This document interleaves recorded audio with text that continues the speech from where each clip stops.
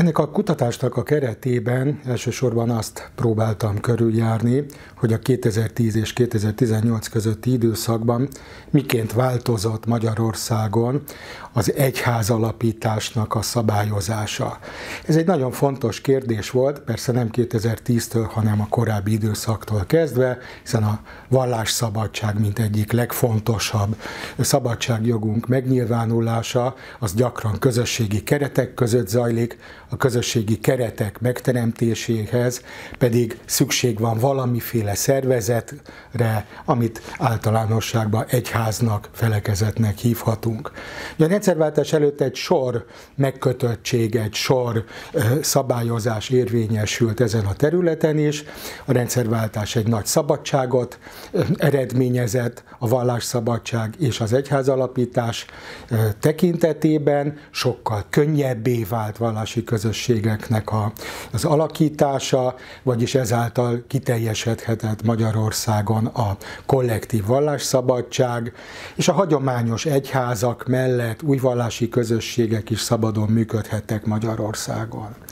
2010-et követően némiképp változott a hivatalos egyházpolitika ezen a területen, ami részben abban nyilvánult meg, hogy fokozatosan szigorodtak az egyházalapítási feltételek, hogy egy területet említsek, míg 1990-től kezdve 100 fő elegendő volt az egyház alapításához, 2010-et követően oly módon szabályozták, hogy a lakosság 0,1%-a, vagyis nagyjából 10 ezer fő szükséges ahhoz, hogy egy újonnan létrejövő vallási közösséget megalapíthassanak.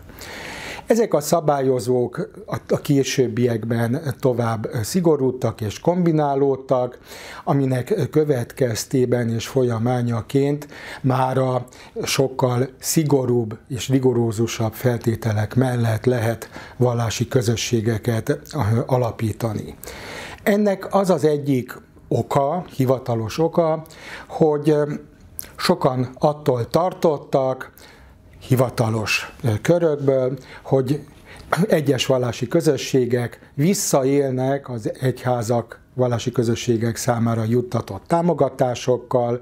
Ezek a támogatások állami forrásokból érkeztek, nem igazán nyert bizonyítást, hogy valóban voltak ilyen vallási közösségek, amelyek visszaéltek a számukra nyújtott állami támogatásokkal. Ha voltak ilyen közösségek, azokat a bíróság kiszűrte és kiiktatta a vallási közösségek köréből. Minden esetre 2010-et követően sajnálatosan erre hivatkozással megszorították Magyarországon az egyház alapítás szabadságát.